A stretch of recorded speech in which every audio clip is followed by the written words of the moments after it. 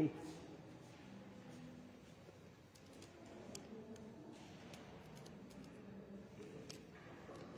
Queridos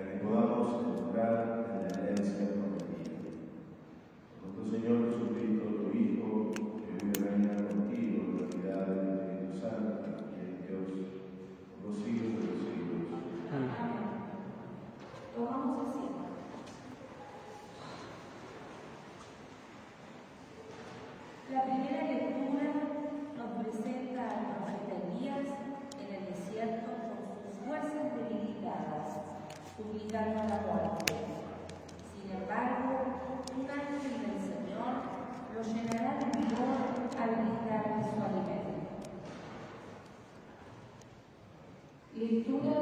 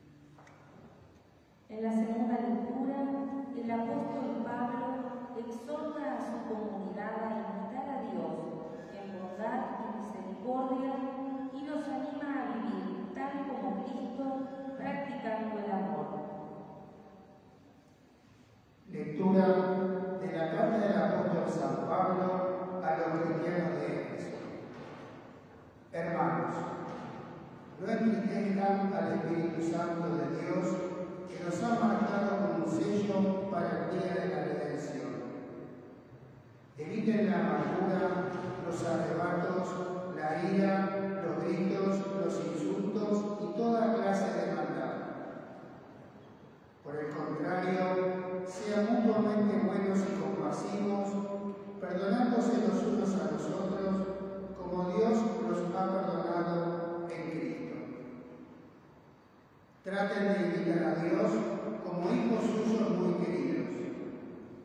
Practiquen el amor a ejemplo de Cristo, que nos amó y se entregó por nosotros como ofrenda y sacrificio agradable a Dios. Palabra de Dios.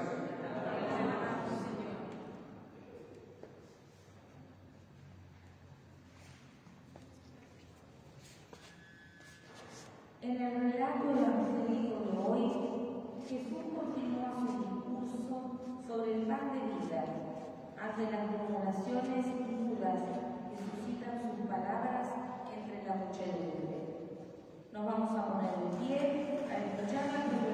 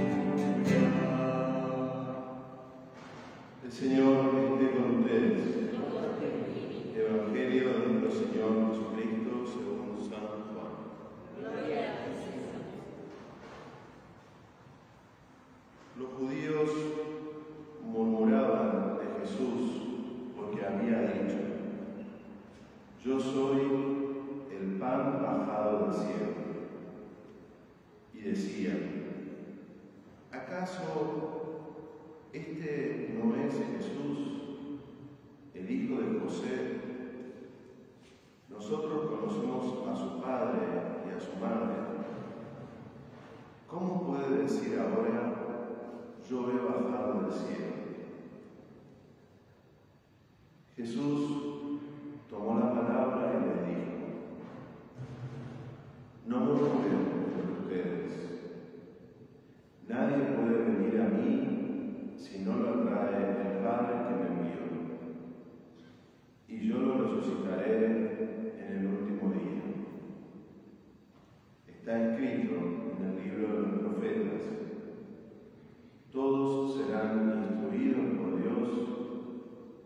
Todo el que oyó al Padre y recibe su enseñanza viene a mí.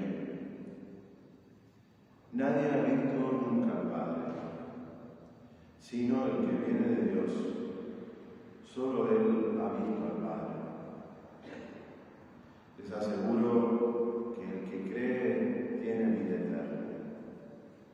Yo soy el pan de vida. Sus padres en el desierto comieron el maná y murieron.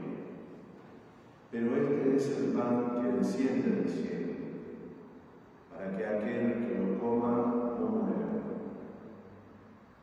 Yo soy el pan vivo bajado del cielo.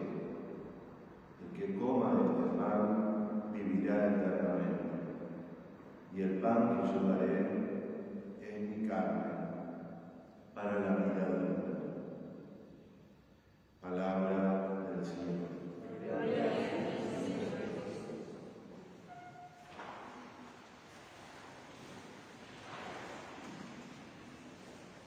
Jesús lo repite varias veces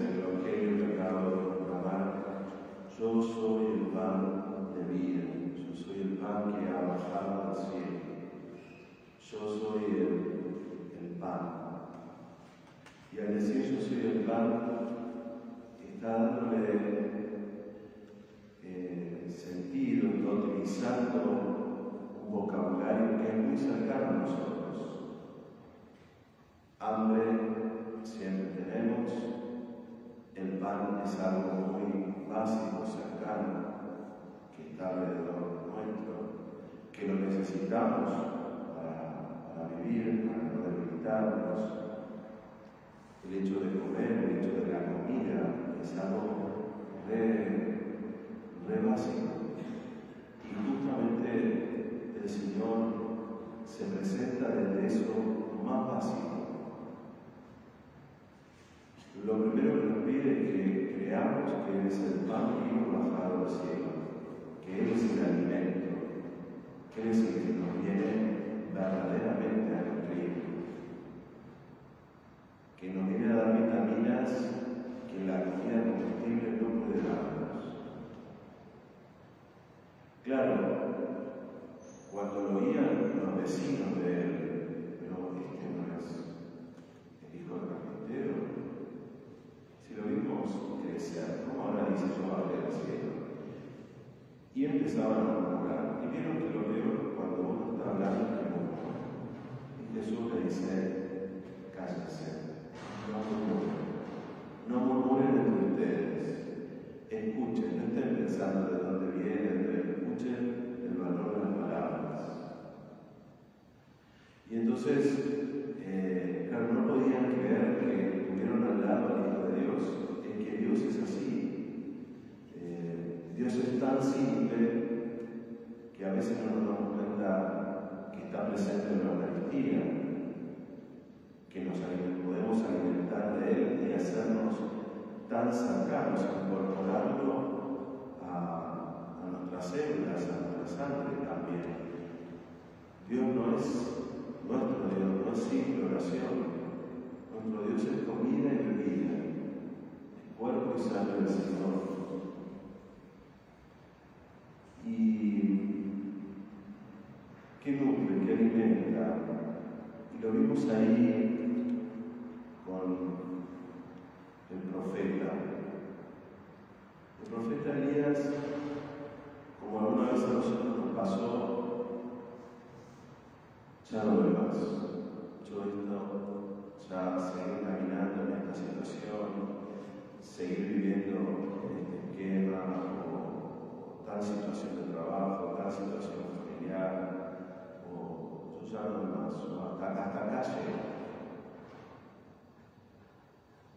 Y el Señor se le aparece y le dice que descanse y luego lo despierta para que coma unas galletas, no tenía que comer, estaba cansado, su cuerpo debilitado.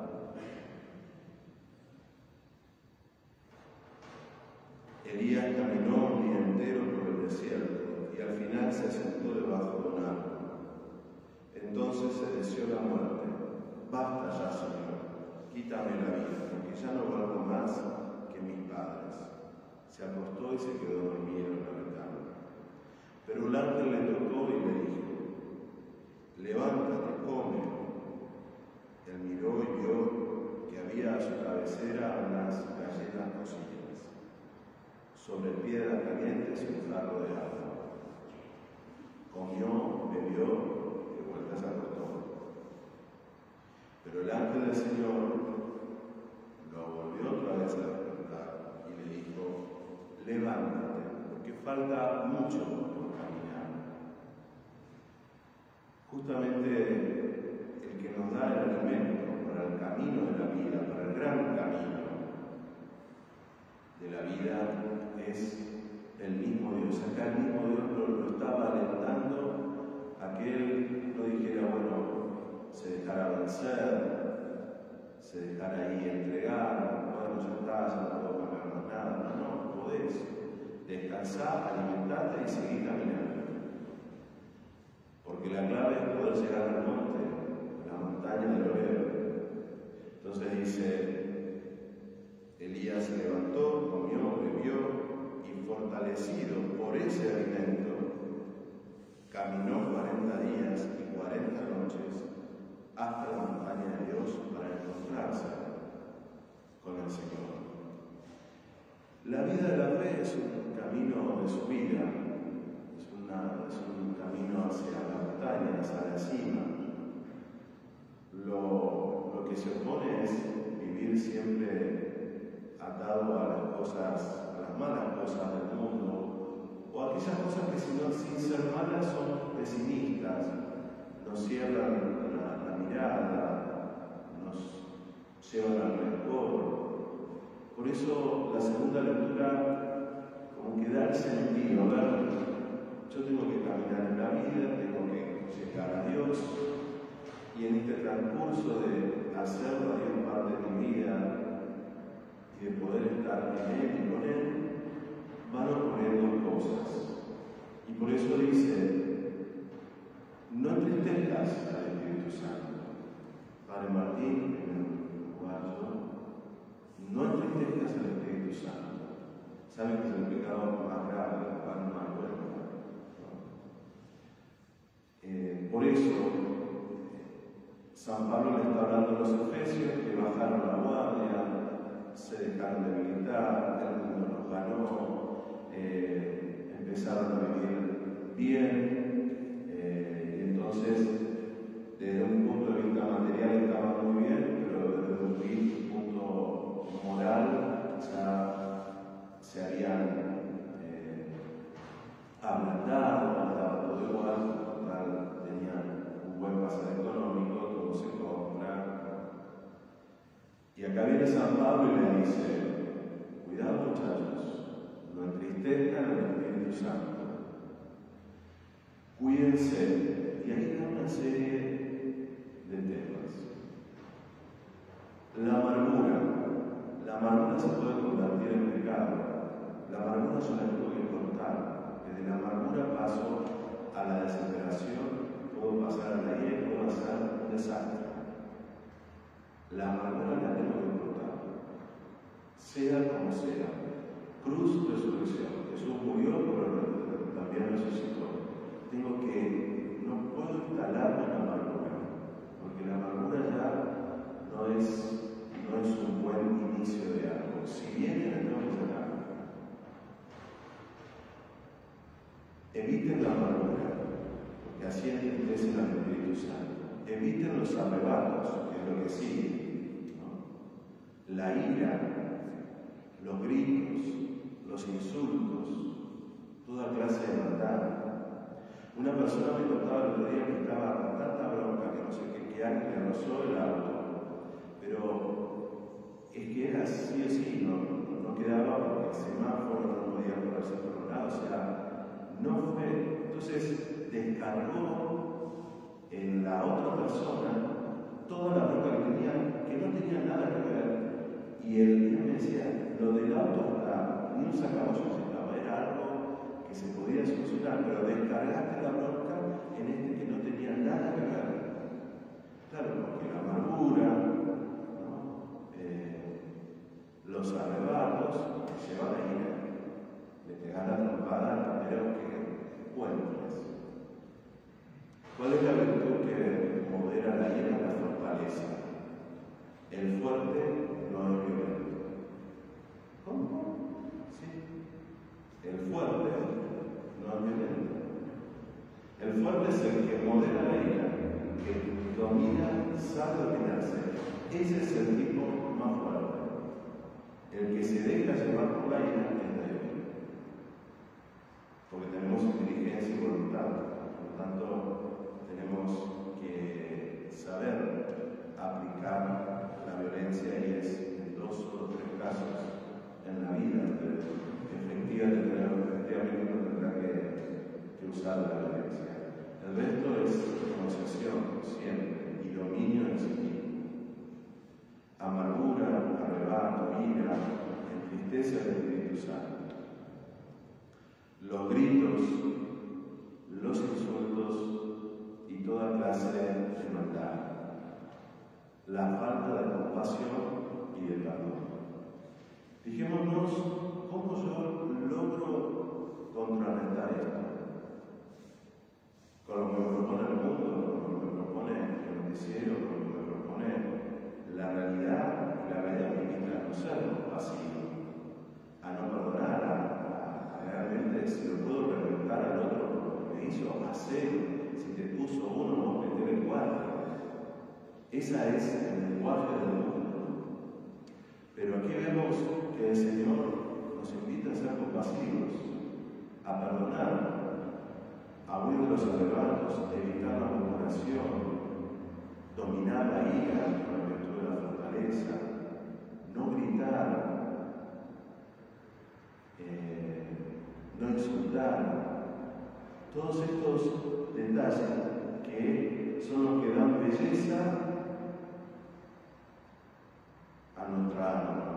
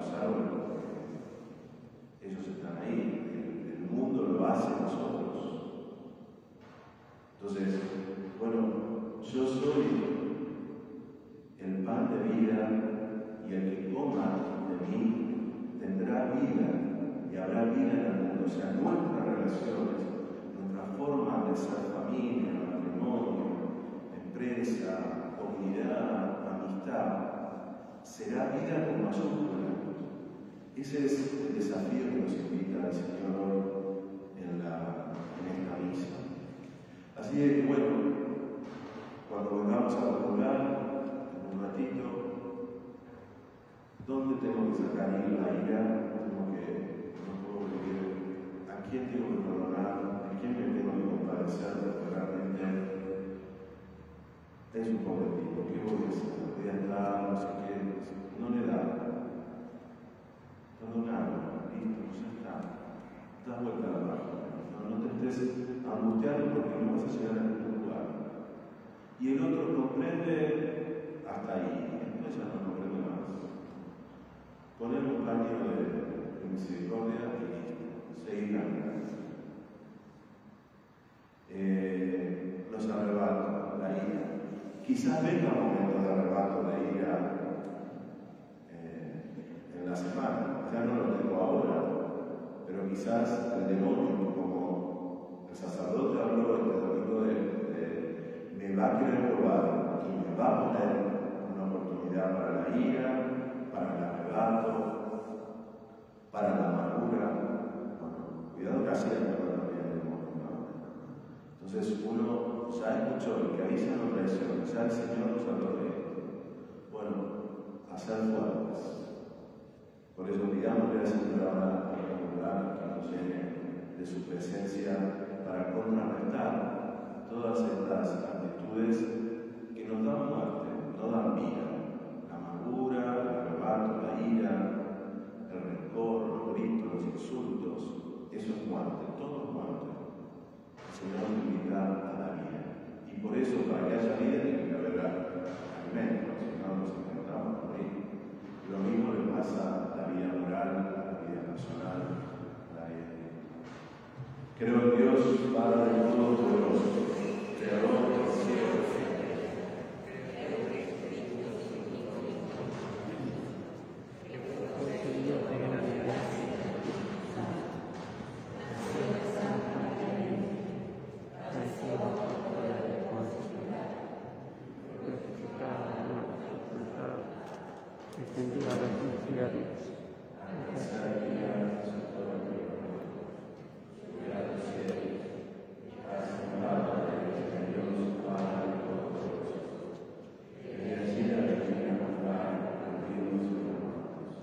Creo en el Espíritu Santo, la Santa Iglesia Católica, la comunión de los santos, el perdón de los pecados, la resurrección de la carne y la vida eterna.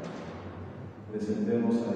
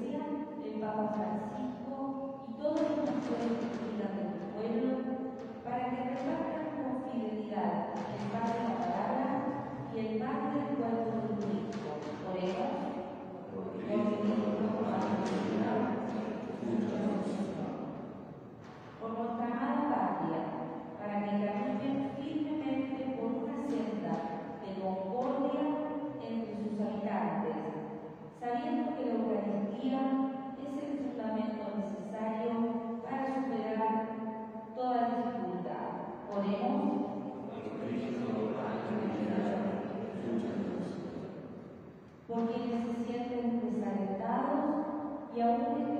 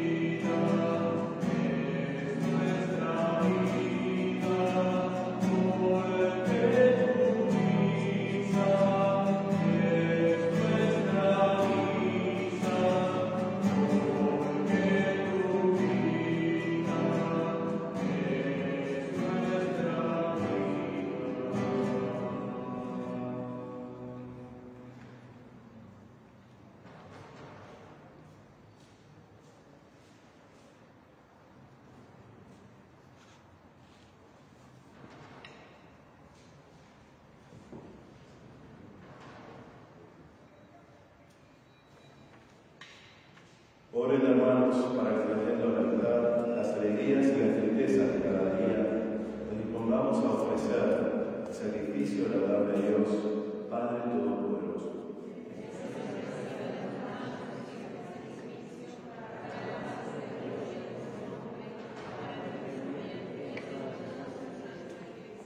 Padre de bondad, acepta los dones que misericordiosamente has dado a tu iglesia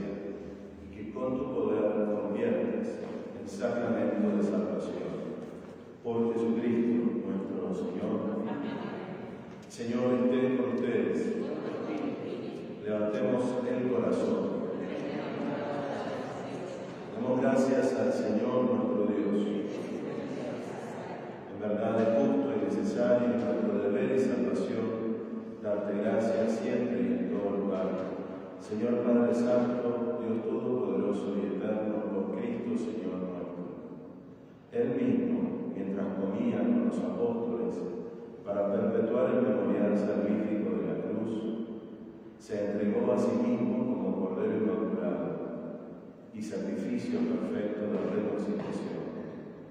Con este venerable sacramento alimentas y santificas a tus fieles, para que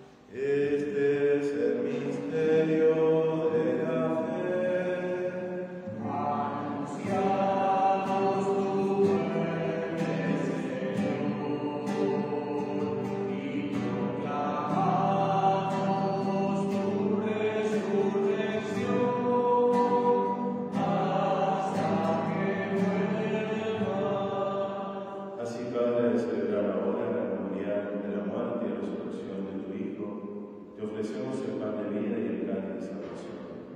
Acuérdate, Señor, de tu iglesia entendida por toda la tierra y reunida aquí en el domingo, día en que Cristo ha vencido la muerte y nos ha hecho partícipes de su vida inmortal. Y con el Papa Francisco, tu arzobispo, cardenal Mario Bello, y todos los pastores que cuidan de tu pueblo, llévala a su reflexión por la caridad. Acuérdate de tus hijos, Adrián Montañero, Francisco Mayor, difuntos de las familias Bajal, Farjat, Hernández, Alma del Purgatorio, Gino, Juan, Ariel Vinograda, Cristian Aún, Primitiva Chazabel, Dionisio Gabriel, los difuntos de las familias de la familia La Raíz y de todos los que han muerto en tu misericordia, admítelos a contemplar la luz de tu rostro. Ten misericordia de todos nosotros y escucha las intenciones y peticiones de Alan, de Matías, de Jorge, de Silvia, de Colmar, Nora, Alejandro, Alcina, Ana María, por el fin de la pandemia, por las intenciones de Rebeca Martín, Aldana y Charlie. En acción de gracias por el cumpleaños de la hermana Leónidas, pedimos por la salud de Maribel Cruz, Osvaldo Matías, Guillermo, Valeria, y así con María la Virgen, Madre de Dios, Nuestra Señora de Montserrat, Santo Jesús su esposo, Santo Domingo de Guzmán, y cuando vivieron en tu amistad a través de los tiempos, merezcamos por tu Hijo Jesucristo compartir la vida eterna y cantar tus alabanzas. Por Cristo,